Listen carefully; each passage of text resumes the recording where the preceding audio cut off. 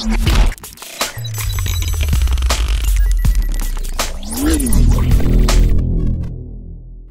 what's up guys? Dr. Tech Pro is here. Today we want to talk about creating password. Putting password on something is not going to make you secure. You have to choose the right one so other people cannot guess it easily. In this video, I am going to show you how to choose the right password. So stay tuned and keep watching. First of all, do not choose any of these passwords. Now we will start Step 1. Pick up phrase. For example, I will be home at 9. That's the easiest way to remember the password. Step 2. Change the letters to numbers. In my example, we can use I will be home at 9. Step 3. Choose first alphabet. I will be at home will turn to IWBH at 9. Step 4. Add a special character. As you can see, I choose to add one more special character after 9. Step 5. Add name of the website you are visiting. Since we cannot remember every password for every website we are visiting, I'm trying to give you some solution. Put the name of the website in short form at the end of your password. For example, I put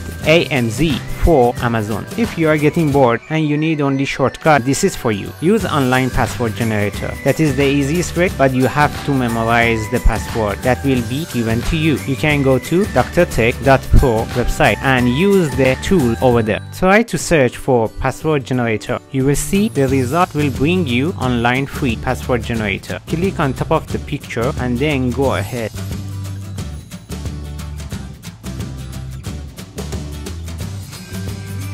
You will see the generator cap I will choose on lowercase or uppercase I will choose lowercase with numbers to keep the length 8 and I need only one password then click generate